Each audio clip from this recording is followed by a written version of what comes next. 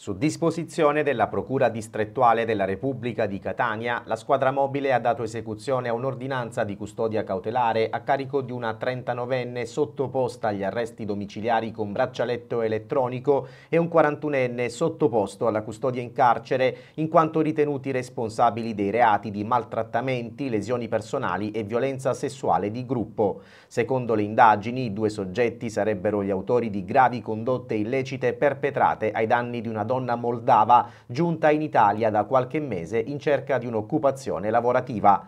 Le investigazioni hanno tratto origine dalla segnalazione pervenuta alla locale squadra mobile proveniente dal Servizio per la Cooperazione Internazionale di Polizia.